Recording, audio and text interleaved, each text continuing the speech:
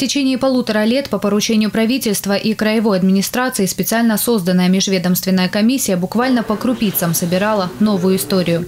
Проштудировав учетные записи 111 госпиталей, лечивших раненых с начала и до конца войны, проверив все документы военкоматов и изучив архивные материалы, специалистам удалось обнаружить более тысячи новых имен людей, которые были захоронены в братских могилах на территории Большого Сочи.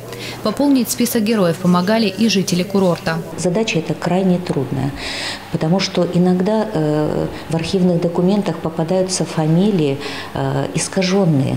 И, например, в солдатских э, офицерских документах есть одна фамилия, на обелиске другая.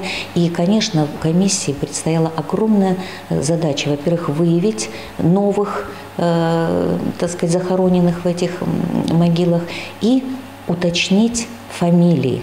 Так комиссии уже удалось выявить 250 фамилий, которые были написаны правильно, а вот инициалы нет.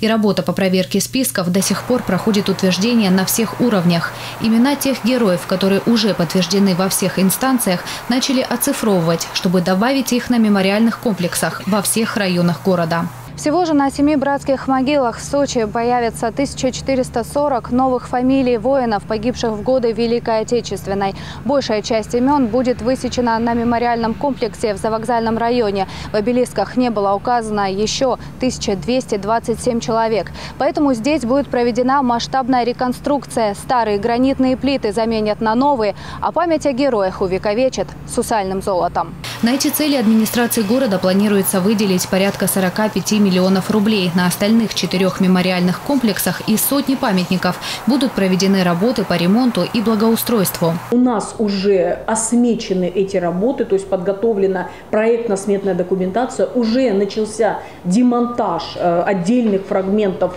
наших захоронений. Идет колоссальная подготовка к э, празднованию 9 мая, к 70-й годовщине. И мы считаем, что это отдание э, дани памяти, дани уважения нашим предкам, которые действительно завоевали для всех нас, для всей страны эту победу. Также ко дню 70-летия Великой Победы проводятся две новые акции «Пальма Победы» и эстафета памяти Сочи «Город-госпиталь». А набравшая в прошлом году более тысячи участников колонна бессмертного полка в этом юбилейном соберет более 10 тысяч человек. Татьяна Нагорская, Михаил Дубинин, телекомпания «ФКТ».